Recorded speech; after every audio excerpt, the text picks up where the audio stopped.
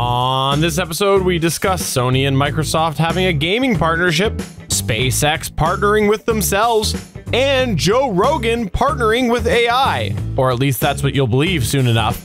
Plus, we look at the concept of the Pixel 3a and brainstorm what an iPhone version of this would look like. This and more in this week's show. I'm Austin from PopXCast, a pop culture podcast part of the Gonna Geek Network, just like the show you're checking out now. Shows on the network are individually owned and opinions expressed may not reflect others. Find other awesome geeky shows at GonnaGeekNetwork.com. This is the official GonnaGeek.com show. Here, we're a bunch of geeks talking about geeky things. Each week, we run down the latest news and happenings in the world of geek. These are your hosts for the show Stephen, But what if I'm in the mood for a T Swift story? Chris, I've heard the X is going to give it to you. and SP. That's how we roll on Gonna Geek on Monday night. We get crazy.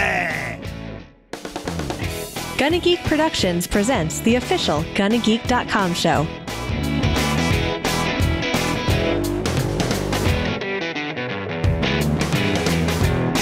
Welcome to episode 287 of the official GonnaGeek.com show. I am Stephen Jondrew, and I am pleased to say that Stargate Pioneer is here today.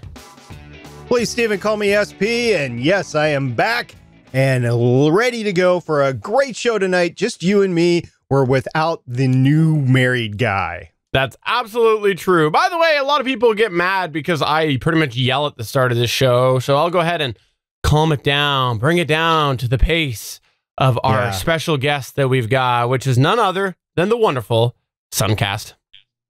Hi. How's it going? yes. For those of you not familiar, Sunkast is our residence recurring guest, well, one of them, and he is here to fill in for the married guy because the show just wouldn't be the same if we didn't have one non-married guy. So since Chris Farrell is away figuring out what he's going to do now that he's been kicked off the show, uh, we do have Sunkast here to take that unmarried seat. Sunkast, why don't you take a moment here to plug or promote yourself because people might not be familiar if they haven't checked out the show where they can usually find you at. You can usually find me doing stuff behind the scenes over at uh, GFQ Network, gfqnetwork.com. We have a few shows on there. Uh, what the Tech with Paul Thurrott. If you like tech stuff, uh, we got an awesome show where he talks about a lot of the current stuff that's out there. If you like wrestling, we have Mat Men. I know that AEW is a big thing now. And a lot of people like news, and we got tons and tons of AEW news on Mat Men Pro Wrestling. So check that out. And then follow me on Twitter at Sunkast. It's spelled S U N K A S T.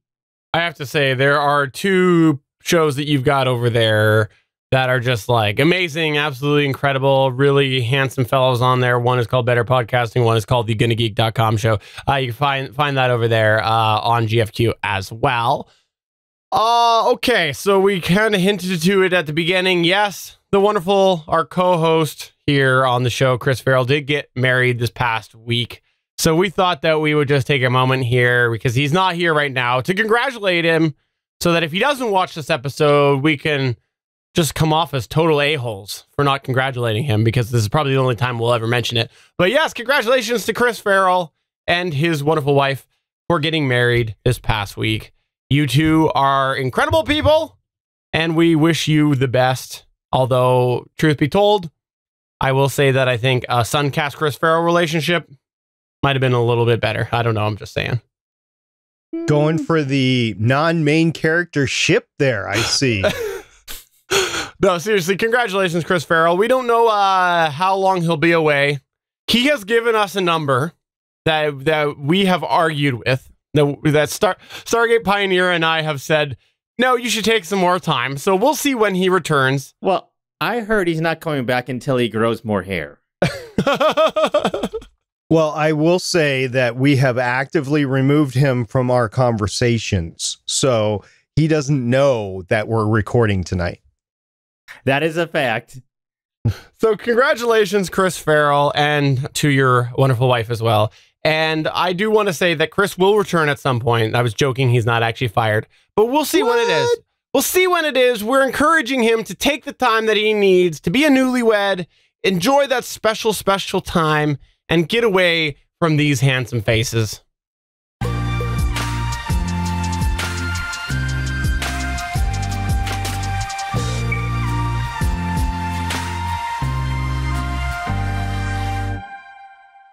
This first news point is something that we've actually kind of touched on before, and it's all to do with cloud gaming. Yes, if you haven't checked out that previous episode or the other one or the other one, uh, in the past we have talked about the concept of cloud gaming and specifically how Google announced a month or so ago that they were going to be getting into cloud gaming. Well, it looks like the pressure might be on because this past week, Sony and Microsoft announced that the two companies are going to partner on new innovations to enhance customer experiences in their direct to consumer entertainment platforms and AI solutions. Under this agreement, the two companies are going to explore joint development of future cloud solutions in Microsoft Azure to essentially create more streaming game content. This is really interesting to see because for a long time, Sony has been saying, no, we won't partner with anybody. We won't even do any of that modern uh, cross platform. They've kept their silos up. And now all of a sudden, Sony and Microsoft are saying that they're exploring this concept together. Now, why I find this interesting is because number one, what I said, this comes on the heel of that Google announcement. But the other thing as well is this perhaps Microsoft flexing their muscle. And I'm not talking their gaming muscle. This references Azure. Microsoft has a pretty good cloud backbone otherwise. There's all sorts of services mm-hmm. that are based on the Microsoft Azure platform. This is a big part of their book of business. And is this something that Sony was really looking to utilize that? And Microsoft said, well, if you're going to go ahead and explore that and we're going to try to support you, maybe we need to make this a little bit more firm of an agreement and try to kind of put uh, Sony into a corner because where are they going to turn? Are they going to turn to Google? No, Google is also doing their own thing. So it's really interesting for me to see this come up when you consider the silo that ha- that Sony's created for their gaming platform. Sunkast, you're all yes. about cloud stuff, and I know that you game all the time. That's not true. Uh, but what do you think about this from like the tech perspective? Because you are all into this sort of uh, I'll call it server stuff. It's not really server stuff, but you are kind of into that. Yeah. Uh, this is kind of an interesting, but maybe it makes sense partnership. So yeah, it's it's it, they're definitely doing a me too. I can get into that that gamer cloud arena as well, like what Google is doing. But uh, you know what? I think Google might have a little bit of an edge here, where they've already got quite a bit of experience doing gaming in the cloud. They've already had several other similar products where they've tried doing something like that. Not that Microsoft hasn't had some stuff, but I think Google has had a little bit more success in delivering software over the cloud, whereas Microsoft may not have had as much of a success. They've got some stuff that they've done in the past, like I think it was called OnLive that they once did, or something similar to that, where they had some sort of uh, PC or gaming in the cloud, but it really didn't quite work that well. So I think it makes sense for them to actually partner with Sony because Sony does have some good success with having stuff in the cloud, such as uh, PlayStation Vue. Yeah, no, that's that's a good point. And I don't actually know what their technical infrastructure is for that right now. Do you have any idea? Like, is it Microsoft Azure or Azure, however you want to pronounce I it? Don't know without checking on that. Okay. Stargate Pioneer, I know that we've briefly talked on here about cloud gaming and you've got some concerns given bandwidth limitations and whatnot. Do you have more confidence now that these two are partnering together? I don't think that these two partnering together are going to solve the bandwidth problem. I think that's going to be largely a point of service with the ISPs themselves. And while some major markets are getting some phenomenal speeds, they're getting that fiber speed and the broadband cable has upped their broadband speeds because of the competition, you still have markets that are completely underserved. And you're going to start to see this sort of cloud based gaming catch on more and more in the areas where the speed of the internet is appropriate for these games. But in those areas where you don't have the availability, like right now, I don't have anything better than 15 down and 10 up. That's what I'm living on. and it's Really? just not enough. Ooh. Yeah, there there's nothing better around. Well, it, I think it's more than 15 down. I think it's like 50 down and uh, 15 up. It's not good enough to do 4K cloud based gaming. Now, now to say that, what's interesting here is you can go cross platform. You know, if they include Microsoft with Xbox and PC, and if they include Sony, then you're going to be able to on three of the major points of gaming, whether it's a PC gaming or if it's a box gaming, whether it's PS or Xbox, you're going to be able to interface at some point into the different servers. And these uh, broadband or broad games, what are they called? World games or whatever, where you're in a world and, and you can fight anybody else in them. I think those are going to grow in popularity because you're going to be able to go between PS4 and Xbox and PC, and you're going to see a delineation of the haves and the have nots because there's going to be some systems that are going to be able to handle the game a little bit better at the actual player level, at the machine level, better than others for rendering or for throughput or anything like that. So you're going to see some haves and have nots. Mhm. Now, when is this really going to catch on? I say within five years, you're going to have a large enough presence that it's going to be economically viable. I mean, in the meantime, it's going to be a hard push because it is the way of the future. Yeah. I, I'm interested more now now that this is happening because Google was kind of on their own. They obviously don't have a history on what sort of products they're going to focus on. That was the big question. What are they focusing on? But when you've got Microsoft and Sony, two big players of modern current gaming, console gaming, it's really interesting to think about what that partnership could do. But I, I still remain skeptical. I will say that I am still skeptical, but time will tell. People like me have the bandwidth to do it. People like SP, maybe not. Uh, and I think that that's a really important factor to consider that there are There's such always different going to be markets. caveats, though. There's there, there's going to be pros and cons to anything like this. That's that's well, true. if they if they want to maximize the profits on any given game, they're going to have to have the max max available players that are in it. And if they want to do in-game purchases, is that going to go to the game or is there going to be a cut on whatever system that you're using to play the game? I mean, think of the money ramifications when you're doing this cross-platform. Did you say the end game, like the Avengers end game? Is that what you said? I said Oh. in-game, but uh, Oh. let's talk let's talk in-game because I'm all about that. You've only seen it once, right? Yeah, we don't need to talk about end game. That was so a month ago. Moving on to the next news point here, we will go to another game, and that game is space exploration. And we've got something come out of SpaceX, right?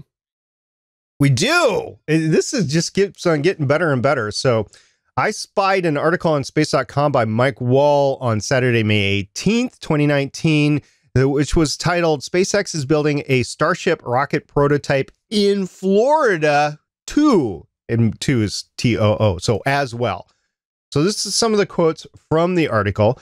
SpaceX is doing simultaneous competing builds of Starship in Boca Chica, Texas, and Cape Canaveral, Florida, Elon Musk said in a tweet on Tuesday, May 14th. Both sites will make many Starships. This is a competition to see which location is most effective. Answer might be both, Elon Musk said in another tweet that same day. Any insights gained by one team must be shared with the other, the other team not required to use them, he said in yet another tweet. So he's doing a lot of tweeting here. So the Texas built Starship prototype, which SpaceX calls the Starhopper, may resume testing later this month, Ars Technica recently reported, citing highway closure information, which was reported by the Brownsville Herald. So exciting things. First of all, you've got SpaceX building not one, but two, or having two teams building Starship prototypes, and they're competing against each other, and then they're sharing all their cool information.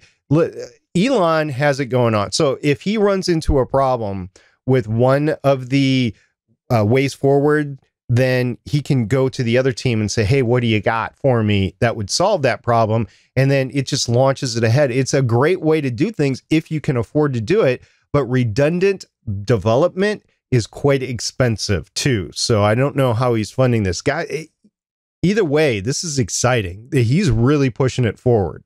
Plus, I really like Boccaccini. That's what you said, right? That is exactly not what I said, but I'm glad you took it that way. Okay. Um, maybe I misheard that. I don't know. I'm hungry.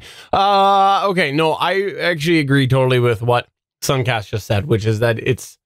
It, it, he was actually agreeing with you, but I'll, I'll give him credit. if you think about it. Sorry? It's kind of ludicrous if you think about it. The fact that, Not- that not they're re- doing this red- redundant development. Not not necessarily, because take a look at the Crew Dragon capsule that just blew up. So now he's got to wait for to figure out what's wrong and then to rebuild a prototype and correct the issue. Whereas if he had a competing team build, he'd just go with that and say, okay, we're going to use that now. So I can see where he's coming from. And not just with the capsules, this has been done with rockets before with him, where he's changed some of the insides on the rockets and into different blocks, I think he called them. And it's worked out for him because if one block didn't work, he said, Well, we fix that in the next one. And he did. And it just worked well for him to have uh, competing designs. I'm doing a 180 on my position because I actually was completely there thinking it was a bit ludicrous. But when I think about it, you've actually talked about it, SP, before how he does run a risky game. And I think that that's definitely the cards you have to play here. But if you are going to play that risky game, it's better to have a backup. And and he is. He he like SpaceX definitely is willing to go and and push the envelope maybe a bit too soon and you're that's going to increase your chance of a disaster happening and so you might as well keep that ball rolling forward so yeah no i actually i've changed my mind i agree with you sp Not only do you have two teams that are building a prototype, you are to have two teams building multiple prototypes.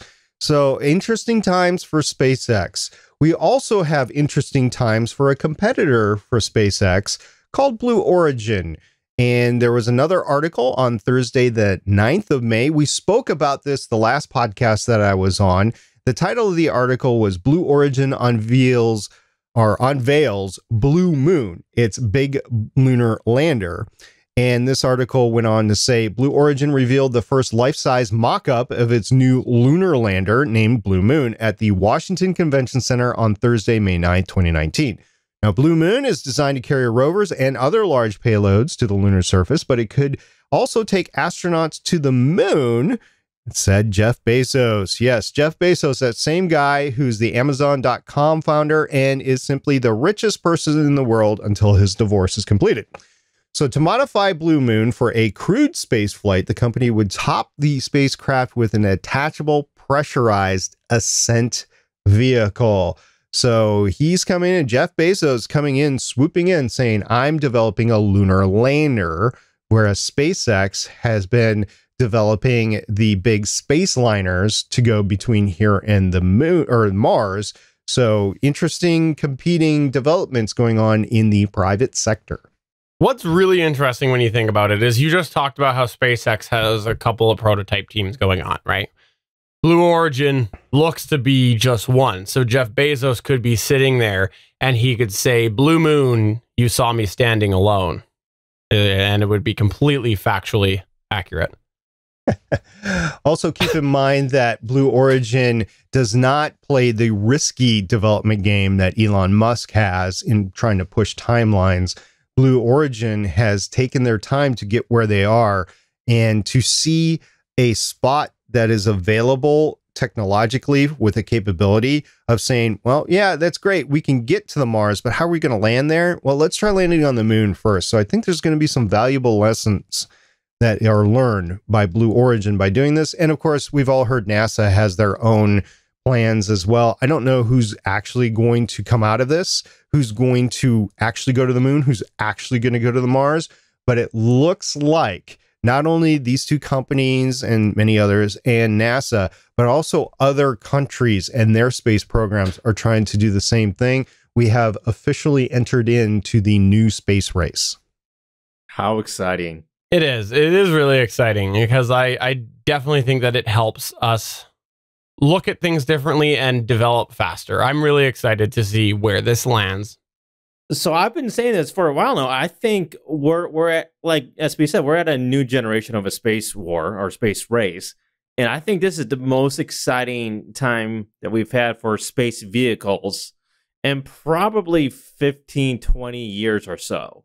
I agree with you. I completely agree with you. And I think that this is one of the things that helps fuel more competition and and faster development because if you get a couple big names in there and they start to show it's viable to have this business structure because so much of the world is based off business now you're going to have more people wanting to do that. And then you end up with more competition and that that's going to develop faster you know? It, it's it's neat. I like it. Neither of these developments are being really funded by NASA. I mean, NASA's picking in some some monies for the ISS crewed vehicles, but aside from that, these companies are going on its own. And it reminds me, I, I remember if you have not picked up this series yet, it's a History Channel series. I think it's available on YouTube or at least free on their website. It's America, the Story of Us and the men who built America. Now, I'm not trying to be American centric, but this reminds me of those times of those big names that really built society to where it is now. And I'm talking about Vanderbilt, Carnegie, Rockefeller. Yeah, these are the guys. Elon Musk and Jeff Bezos and anybody else that can fit in there are now in that venue. Uh, Bill, I would argue Bill Gates and um, Steve Jobs would also be in that list now if you would do that list again. So they these guys, Jeff Bezos and Elon Musk are in there. And uh, we talked about it before on the cast. Elon Musk is transportation. I think Jeff Bezos is mostly on delivery focus. I mean, it is an Amazon mindset there. So I'm just gonna say this: at, at the end of the day, I just wish I had the amount of money to waste that Jeff Bezos and Elon Musk have. The amount of money that they have that they're throwing at this. My God, what I could do with one tenth of that. No kidding. And I think it's worth mentioning, though, what SP just talked about a minute ago, which is that Jeff Bezos may not have as much money anymore. We're not much of a gossip program usually, but you know, you've commented on that a couple of times. What's going on with that there, SP, with the whole alleged situation? There's no alleged situation. We just don't know the outcome of it yet. Jeff Bezos is getting divorced. And if you take a look at what happened with Sam Walton when he passed away, his fortune, he was the richest guy in the world. His fortune passed to his wife and his kids and his grandkids, and it got dispersed. And then all of a sudden, you had not one person being the richest person in the world, but then you had like four or five being in the top 10. And that's one of these situations when you take that wealth and you divide it by two because there was no prenuptial agreement. They each are uh, authorized in American law to have half of the marital assets. And so she's going to have half. Now, whether she allows him to control it or I, I don't know how that's all going to pan out, but they're not going to be stupid because they're not going to cut off the nose to spite their face. They're going to want Amazon to make money. But Jeff Bezos has been selling off billions of dollars of his investment in Amazon in order to fund Blue Origin. And I this all stemmed, by the way, from uh, allegedly stemmed from some revealed texts, I believe it was, that ended up uh, essentially he was going to be extorted by a certain publication, which we won't mention, and that was because apparently they got a hold of some text that may not have been good for his relationship, and we'll leave it at that. But here's the thing. If that was the case, even if there was an audio clip, he could have just said it wasn't me, as Sunkast is about to tell us, because of the fact that it, who knows if evidence is true, right, Sunkast? So this is a very interesting story. Uh, it came out today that a uh, AI firm has a clip of Joe Rogan talking about really weird stuff. I mean, and this is Joe Rogan. So, an AI machine machine learning company named Dessa has created an AI an AI that sounds just like podcaster Joe Rogan. You might be thinking it's just clips of Joe Rogan's voice taken from his podcast. I mean, he's gotten about 1300 episodes, so there's no shortage of clips of him speaking out there. Uh, he says the replica of Rogan's voice from the team that created was produced using a text to speech deep learning system they developed called Real Talk, which generates lifelike speech using only text inputs. This includes 100% of the audio that was generated. 100% of that was the machine learning the model using only text input. And this includes the breaths, the ums, the ahs, and all other noises. This is pretty amazing. So, um, if you want to check this out and you want to like quiz yourself whether you not you can actually uh, tell the difference between real Joe Rogan and fake Joe Rogan, the AI Joe Rogan, you can go to fakejoerogan.com and I'm willing to bet you're not going to be able to tell the difference maybe 25 percent more of the time.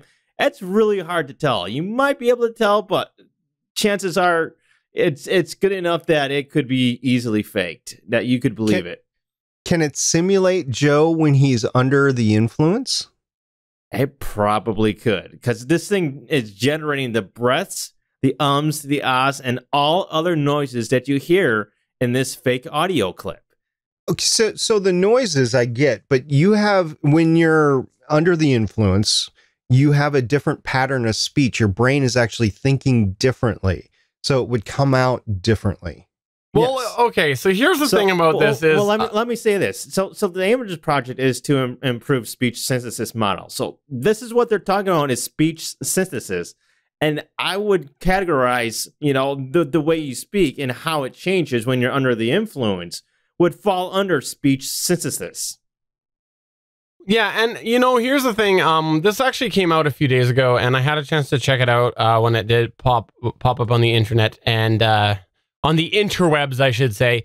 And you know, there was definitely some spots where he did sound a little bit fake, but Joe Rogan also has this weird speech pattern. So I think that it was almost it was really playing with that speech pattern, and because of the fact that we knew it was AI, we could pick that out and whatnot. But with his speech pattern, I think it was a little bit more accurate. Um, it did come across somewhat accurate, but it also did itself a disservice because of the fact that Joe Rogan has a really weird speech pattern.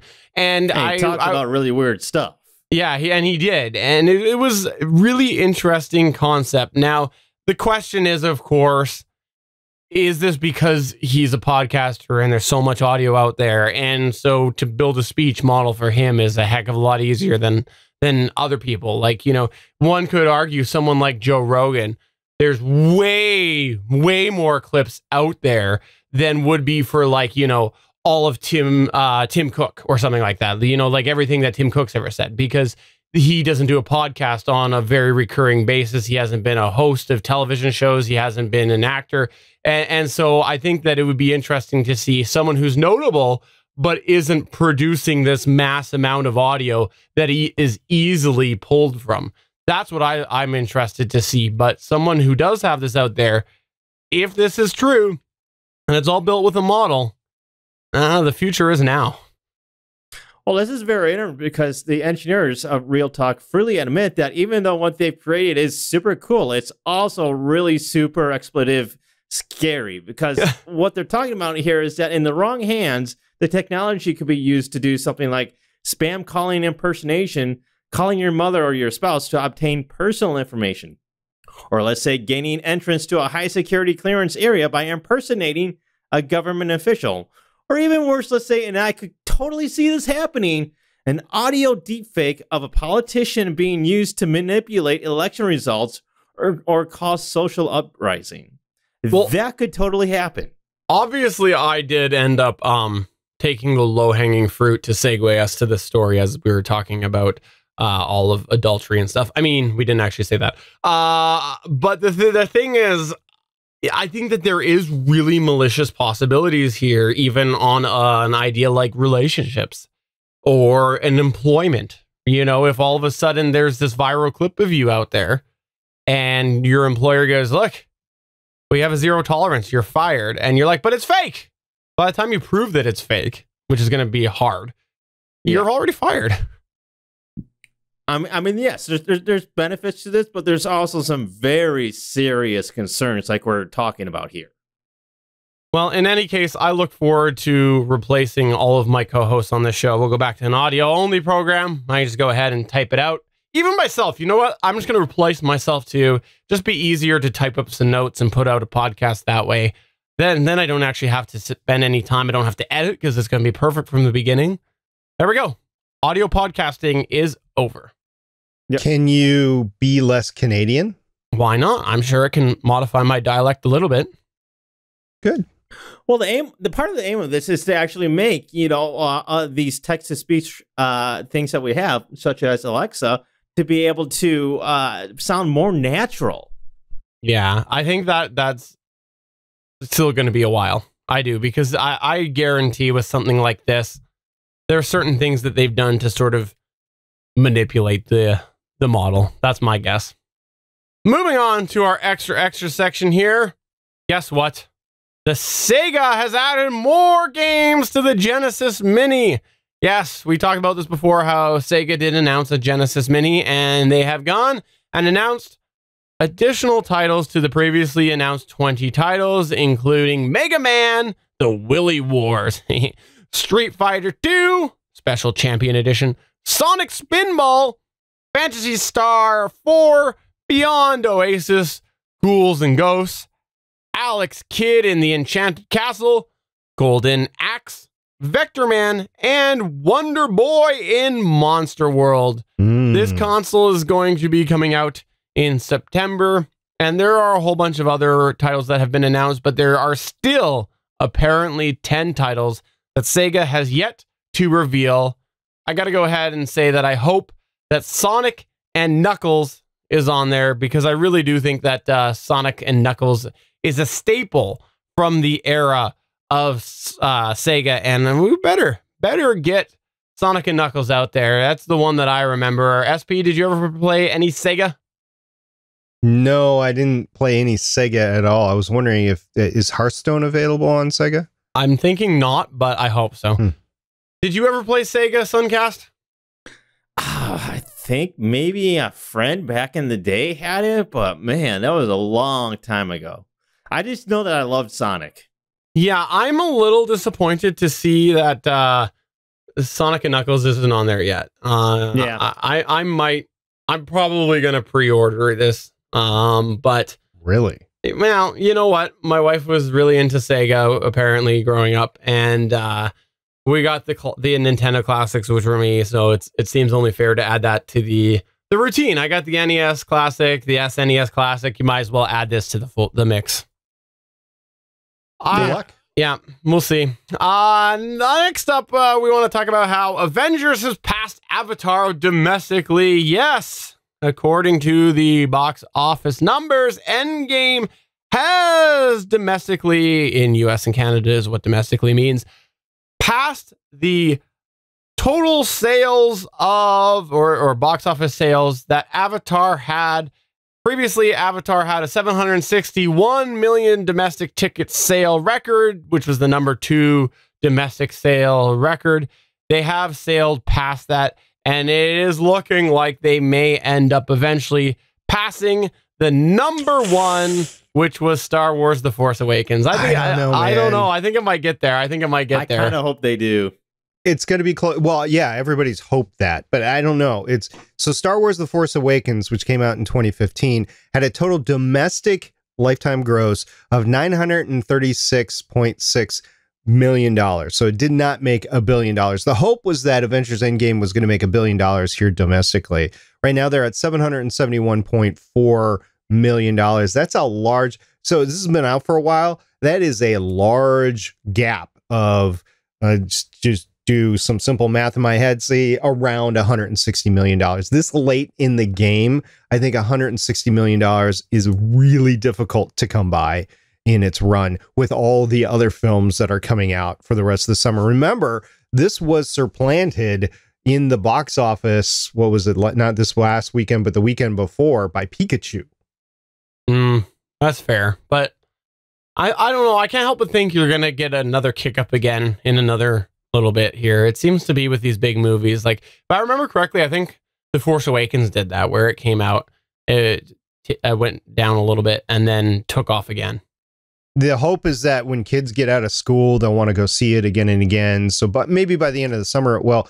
Now, worldwide grosses, by the way, I looked at the box office mojo in preparation for this podcast. Avatar sits at worldwide $2.788 million or 2.788 billion, actually, dollars.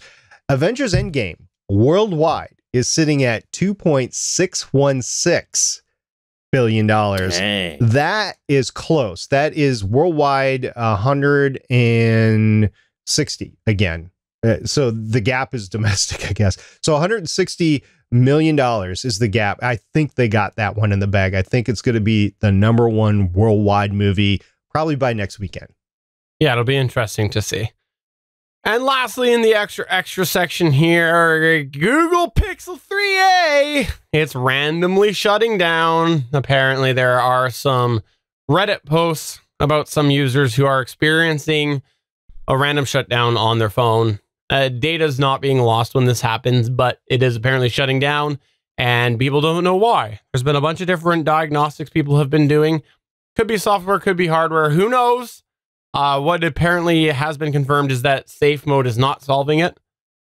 I'm interested to see where this goes, but it is something that uh, just goes to show when you get your phone soon, stuff like this can happen. Or, you know, maybe it'll just randomly catch on fire on airplanes if it's a certain other phone. But, you know, you never know. Never know how exactly that's going to happen. Uh, but I, I hope that Google gets to the bottom of this.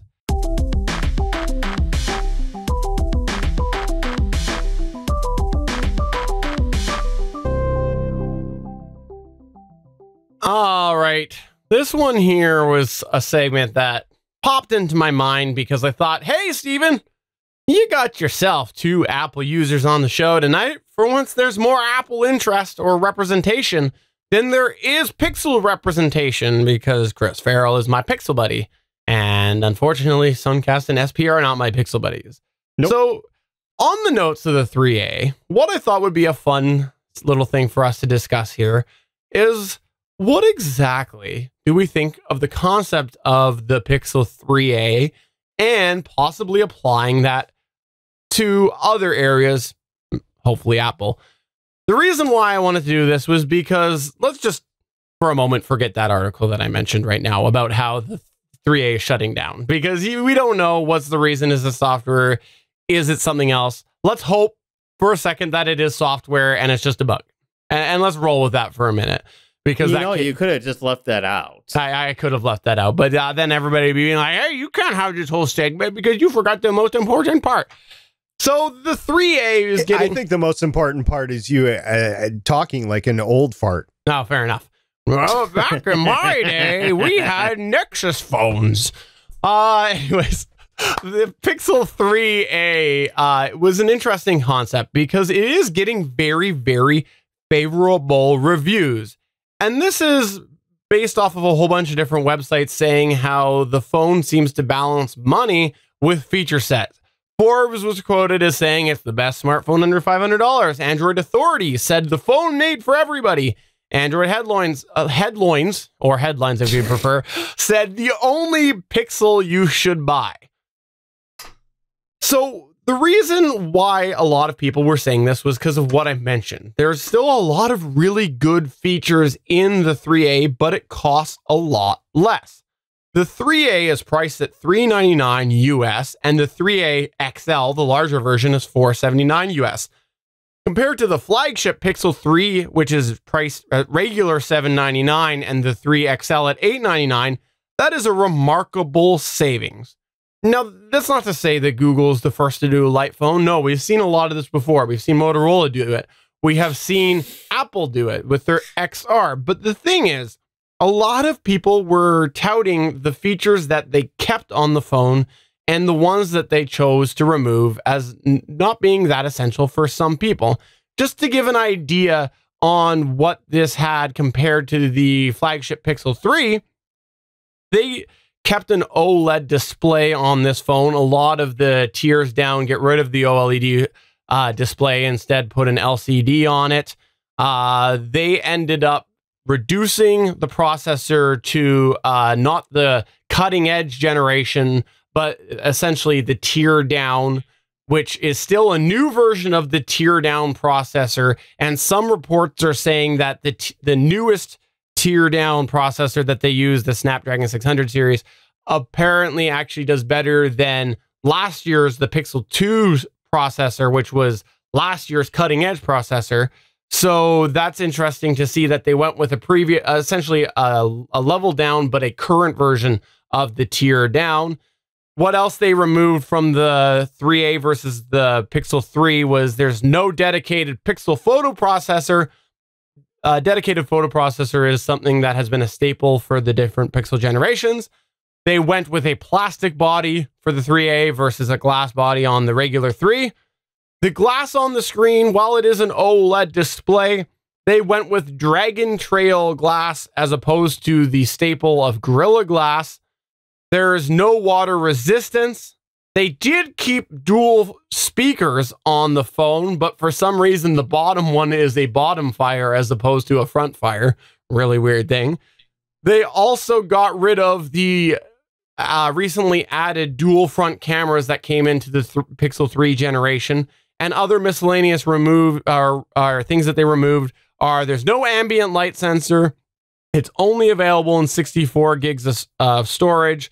The recently brought back wireless Qi charging that we finally saw come to the 3 line is, is removed for the 3A. And the other thing that is worth noting, because so much of Google's infrastructure is based off of trying to get to cloud, they did stop including unlimited Google Photos full quality backup that they were giving away to free in different various forms for the Pixel uh, 1, 2, and 3 generations.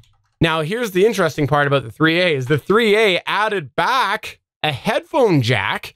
And when you actually look at the display of the Pixel 3A, the cheaper phone versus the full size Pixel 3, it's actually the uh, slightly larger screen on the 3A. The 3A is running a 5.6 inch display versus the full fledged Pixel 3 at 5.5 with uh, different resolution change respectively, respectively being 1080 by uh, 220, 220 pixels on the 3A, and then the um, the 3 was 1080 by 2160. So a little bit more resolution, and then a slight increase in battery capability on the 3A. It's really interesting to see what they removed. And again, the reason I wanted to uh, run this down was just to sort of give an idea of the concept of the 3A and what they chose to do to give a less expensive phone. The interesting thing about this whole thing is that one could argue actually that the Pixel 3A XL is the better deal because it's really not that much more expensive. And the XL actually goes and removes that ugly, ugly notch that came into the Pixel 3 XL. They got rid of it in the Pixel 3A. It's back to just a little bezel at the top. There is no notch anymore. And you know what? I'm very, very happy to see that actually because I hate the notch. I hate the notch. And uh, some are going to call that a con. I call that a pro. So Stargate Pioneer. We'll go ahead yeah. and start with you because for the audio listener, Sunkast walked off. Uh, we're not sure where he is. We're guessing he's probably faking some form of dialogue to be posted later on the internet.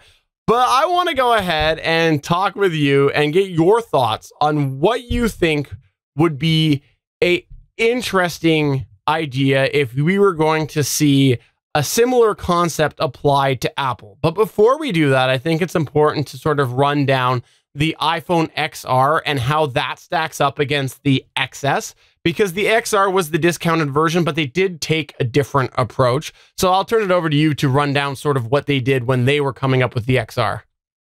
We've spoken about the iPhone XR before on this program, especially when I was deciding what kind of phone that I was going to upgrade a family member to actually a couple of family members too. And I did take a hard look at the XR at the time, but it was good to be refreshed as to what the capabilities were because I kind of threw it over my shoulder and ah, that's not the phone for me. First of all, it is priced at $750. So that's kind of a lot, especially in comparison to the Pixel 3 being about half that price. So it is a luxury discount model. And I think we could all agree that the high end iPhones like the SX Max and the SX, they are probably some of the more expensive phones in the generation until whatever generation that they're going to put out this fall. So for a display, it has an LCD display versus an OLED display on the high end XS. The camera, there is no telephoto lens as on the SX, and that is a second lens on the front of the phone, or actually on the back of the phone, the, the front facing or the rear facing camera. It has significantly less re- resolution, and that was one of the things that completely turned me off on the XR. It's got uh, 828 by 1792 versus 1125 by 2136 on the SX. So the body is made out of the same material, but the frame is aluminum on the XR versus stainless steel on the SX. So it's glass, but it's different metal that goes into the construction.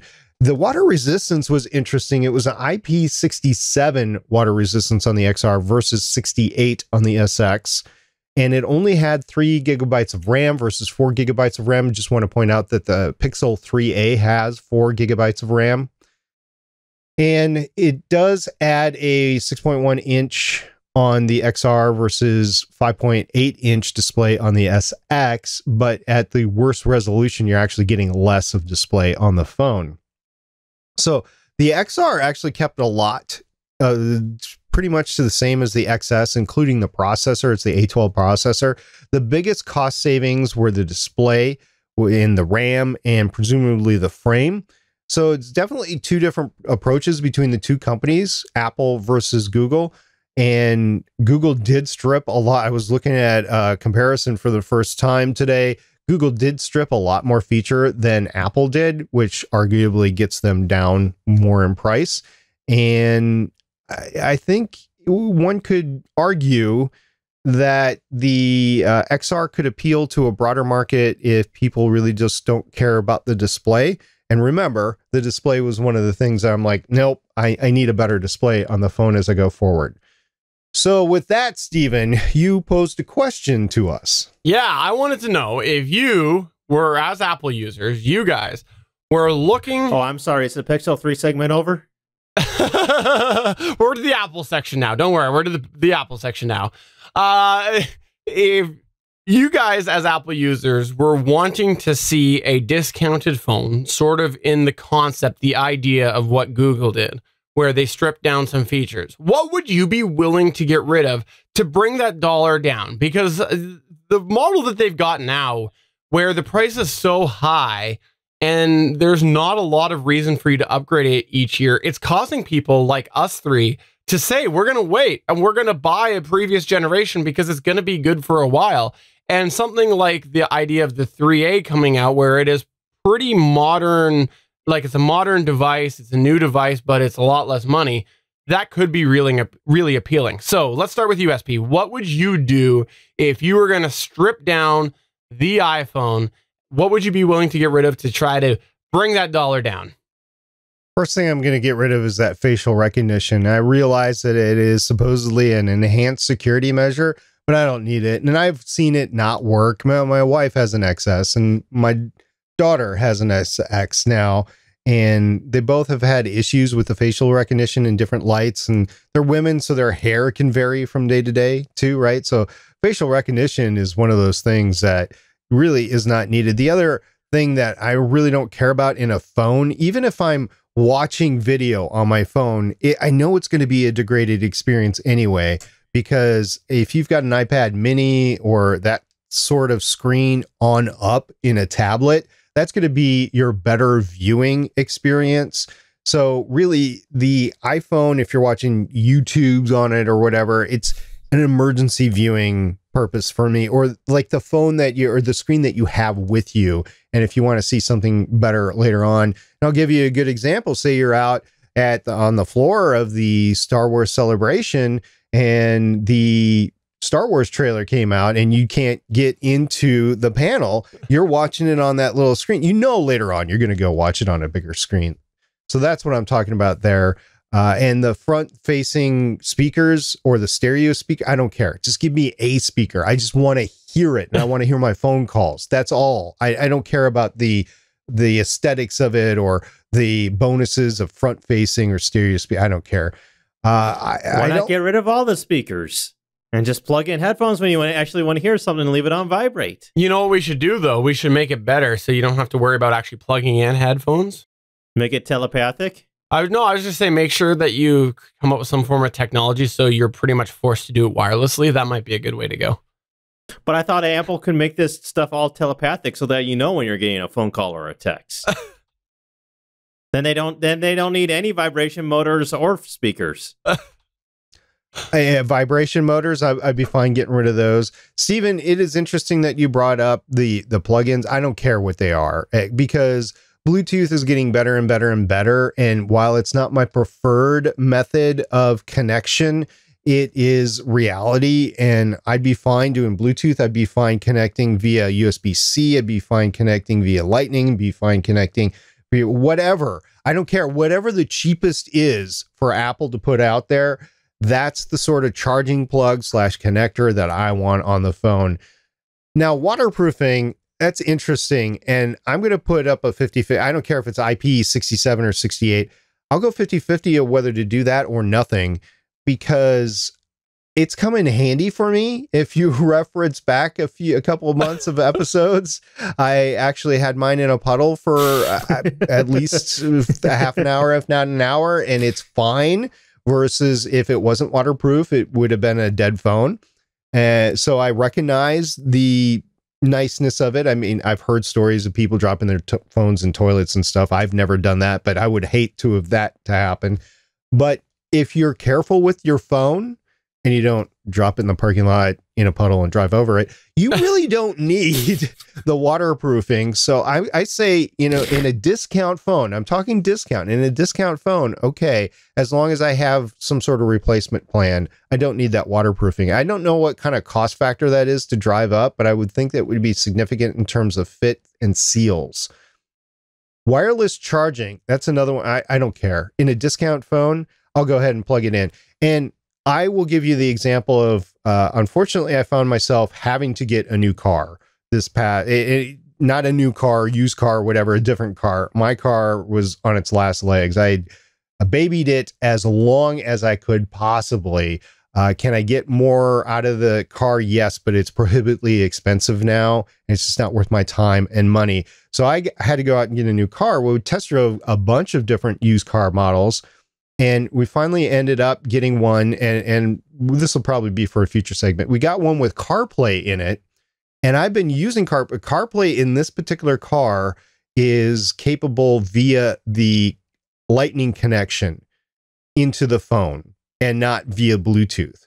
So as you know, as long as I get the connection into the car, that's great. Do I need that wireless charging? Do I need that wireless capability into different uh, interfaces, as long as I can hard plug in, no, I don't need it. Once again, this is a discount phone. If I want the wireless options, I'll go pay for it. And the other thing is, I don't really care how heavy this is. I don't care how big it is. I don't care how small it is. I could go back to the iPhone 4 fit form if it would save significant amount of money. If I wanted a phone for 200 bucks, give me that size if it would work. I'd be fine with that. So I don't care about weight and size if I'm going discount there.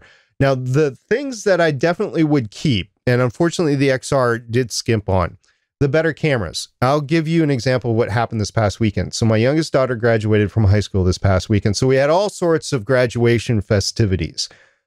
I was taking pictures with multiple different phones.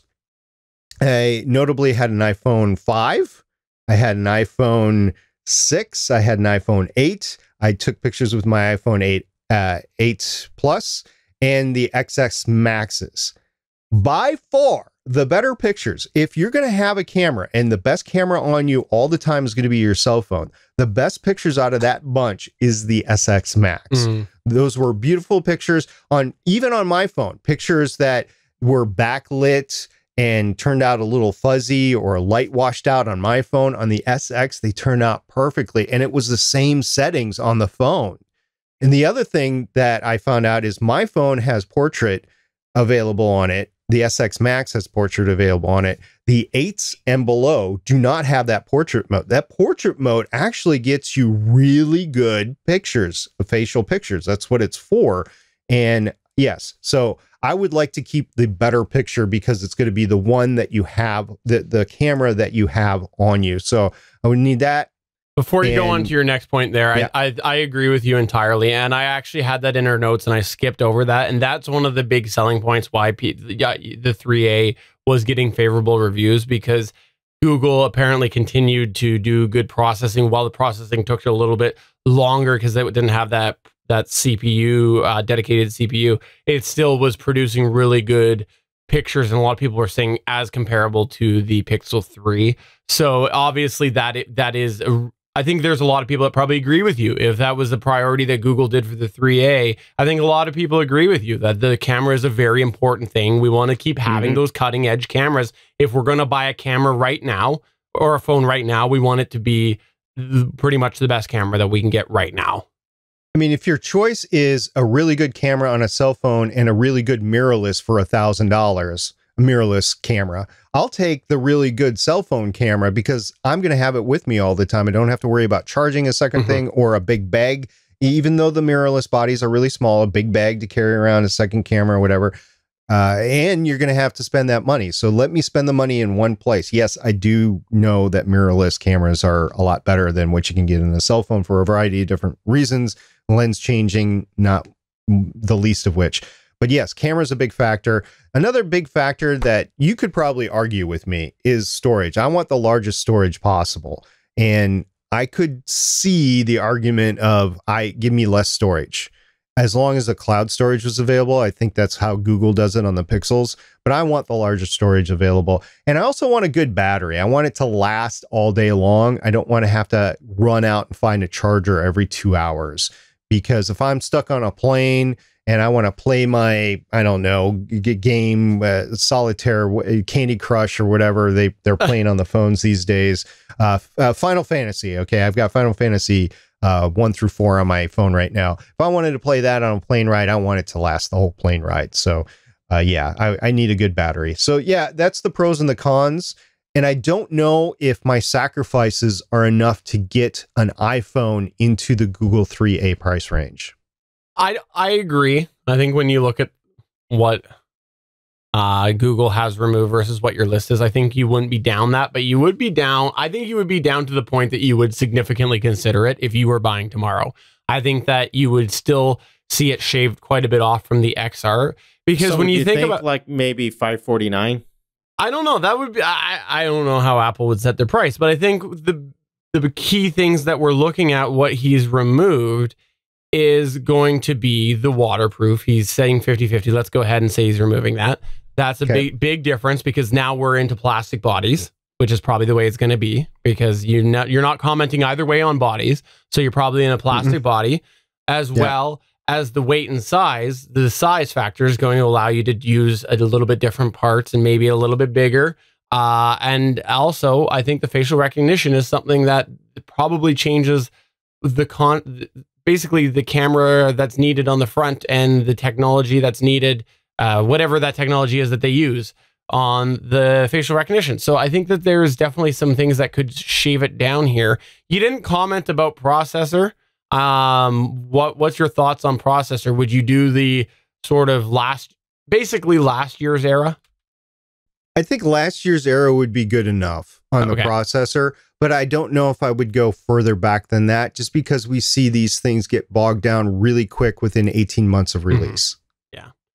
all right how about you other iphone user sunkast what sort of things would you do for yours Well, I think SP pretty much covered most of it. Um, I think one of the only other things I would change is just doing a plastic body. Mm-hmm. I think that's where you're going to have some significant savings as well. Instead of having an all metal or all glass or all steel frame, just have it plastic. And I think that's where you're going to have a lot of savings. I agree with you. I think the frame and the or, or the body and everything is a really weird thing that the industries have done is go to this really fancy glass or whatever it is.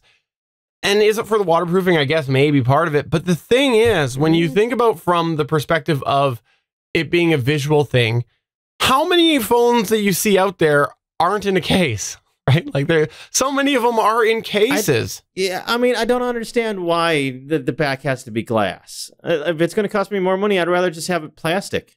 I agree. I Like, I'd, I'd rather save a hundred dollars or whatever it is in having a plastic back.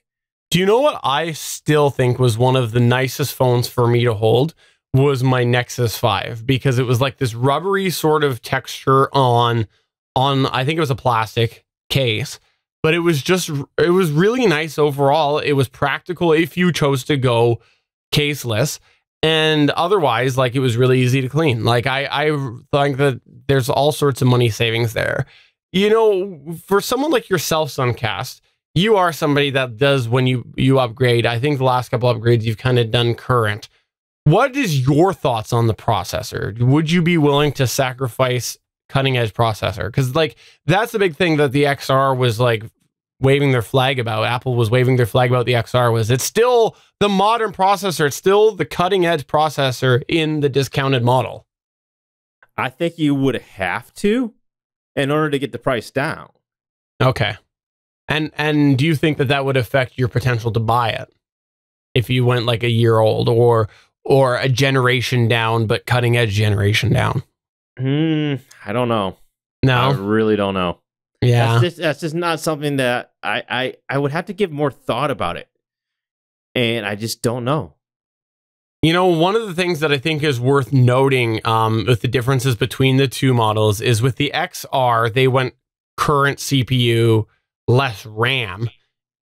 Google did less processor, less CPU, same amount of RAM. I'd probably want more RAM than anything else. Mhm. Yeah, and that might Because that's be going to make a big difference. and and maybe that's why they could get away with it on the Pixel because you know the processors aren't exactly apple to apple comparison either because of the OS and a whole bunch of other factors. But I thought this was a really fun, interesting thought exercise, and I like what both of you said here, and I think that it definitely shows that there are things that we're willing to give away. Like we we wanted things to evolve and evolve and evolve, and then we got to the point where they increased the price significantly to keep evolving, and we're like, okay we could go back a little bit here. We we don't need all of these anymore. We're willing to to have less features for less money. And so maybe we'll see that happen. And and whether it was um like uh, truth be told, I actually really hope that the XR was going to take off because I thought that was a really good opportunity us for us to explore that discount line again. And I don't think it really did. And so I am hoping the 3A problems get fault solved and that the 3A takes off just so that we can continue to explore this discount line. I would love to see more of that happen from more manufacturers without it being the Moto X line. Like the Moto X line had one good good generation and then the rest were just like dog slow and terrible. So I want to see this happen. I want mm, less expensive phones, but keep those cutting ed- edge ones for people who are willing to spend the money, but give those of us who don't necessarily want all of those bells and whistles an option. All right, well, that's going to go ahead and wrap it up for this show. Before we close, I'll just give SP a moment to plug and promote and do whatever you would like to do because I started off with Sunkast promotion. I guess I should give you a promotion opportunity too. Oh, cool. Do, do I get a raise with that promotion? No, why would I do that? Well, it's, I mean, promotions are usually given with raises. Mm, okay, I might double your pay. All right, we'll take that under advisement. Anyway, we had a couple of things happen in my shows recently and just want to state them. We had the Arrow season finale, which was You Have Saved the City, the final episode of the seventh season. We did a podcast on that, it was released a couple of days ago. It actually has uh, received some acclaim from the creative team of the show. So I'm pretty proud of that connection right there. So you can check that out. Even if you haven't watched the show in a while, it actually got really good this past year. So that final episode was really cool to get out. And on my other show, Legends of S.H.I.E.L.D., so that was Starling Tribune, by the way. On Legends of S.H.I.E.L.D., we had the premiere episode of season six of Agents of S.H.I.E.L.D., which was a really fun ride. There's been two episodes out, so there'll be another episode of Legends of S.H.I.E.L.D. out. But if you want to catch the premiere episode, that podcast is available right now. And it was just a fun time with all four of us. We had the three lady agents, they're all agents now, and me on there. And it was a fun show indeed. Yeah, that's right. And I'm fine with that. And I am furthermore fine with the season of Agents of S.H.I.E.L.D. Unfortunately, it's only going to be 13 episodes. If there was one bad thing about this season, it's only 13 episodes. And then se- season seven is also going to just be 13 episodes. So it's, it's uh, almost just like, okay, why didn't they call it season six A and B? I don't know. Well, on that note, I just want to say that uh, I will, I'll be kind, I'll be nice, and I will say that after the Arrow, what I've dubbed to be the series finale, which is not the series finale, but I've dubbed it to be the series That's finale. fine. I've been Um, there. Yeah. Uh, I definitely appreciated you guys doing your episode so quickly after. You actually recorded it on the Tuesday after it uh, aired, which was on the Monday. And it, I needed the therapy. I, I needed the therapy because it was completely different than I anticipated. And I really, really, really appreciated being able to sit there and watch you live stream it and just chat with you and uh, really, really just dissect that episode. So thanks for doing that show. I know that it's been a rocky road in some some areas, so I really appreciate you being there as an outlet for me. Yeah. I'm just glad I'm not a Game of Thrones podcaster right now. 'cause, oh my gosh. that, that series finale was something else. I mean, you could like it or hate it, but it's it's been very controversial. And then I know that we said it before, but I just want to say a congratulations to Chris Farrell. He got married and he is off doing married things now. So congratulations, Chris. Take a couple weeks off. We'll see you back in I don't know July. All right. Well, congratulations, Chris. So on that note, for episode 287 of the official GonnaGeek.com show, I'm Stephen Jondrew. Or am I Stephen Jondrew? This might all just be an AI. And I'm SP. Chubba, chubba, chubba, chubba, chubby. I don't have any lines to go right here, so chubby teletubby. Do you spend all day thinking of these closings? I just don't even know anymore. He's available at gfqnetwork.com. Go write your hate mail over there. Bye. See you guys next week. Bye.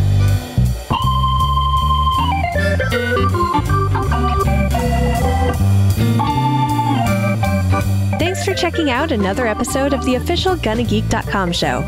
If you like the show, please give us a five star review in Apple Podcasts or a thumbs up on YouTube. You can always join us for our live recording sessions, which stream Mondays at 8:45 p.m. Eastern at www.geeks.live. And remember, you can find our full back catalog at gonnageek.com forward slash show. If you're itching for more geeky content, check out other shows on GonnaGeekNetwork.com. Voice work was by Emily Prokop of the Story Behind podcast. That's it for this episode. We hope to see you back again next week.